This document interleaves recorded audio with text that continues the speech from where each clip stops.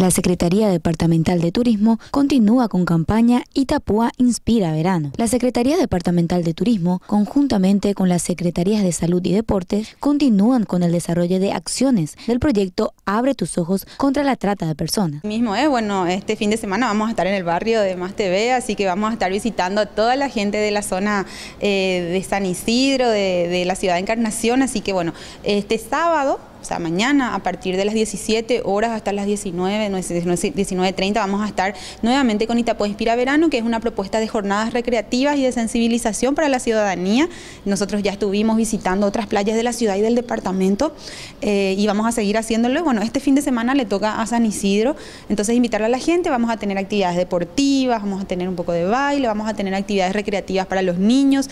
Por supuesto que vamos a estar haciendo sensibilización, especialmente en contra dos flagelos que nos, atañen muy importantemente, muy especialmente en esta época nosotros los itapuenses y los encarnacenos, que es la trata de personas y el dengue. Entonces vamos a estar trabajando un poquitito sobre esas dos eh, cuestiones y también vamos a estar haciendo toma de presión, vamos a estar haciendo, no va a haber atención médica, pero sí vamos a tomar la presión, vamos a estar un poco controlando a la gente y por supuesto va a estar todo el equipo de salud de la gobernación de Itapúa para cualquier incidente que pueda surgir también con atención primaria y en ese sentido primeros auxilios que vamos a estar contando. Va a haber hidratación, va a haber una merienda saludable también para los que participen, vamos a tener volei de playa, vamos a tener actividades de eh, circuito funcional con los profes de educación física y todo el equipo de la gobernación de Itapúa, ¿verdad? Junto con la séptima región sanitaria eh, y también la oficina de la primera dama de Itapúa que están eh, activamente contribuyendo la actividad consistirá en una competencia de fútbol, circuito funcional, vóley, espacios de difusión de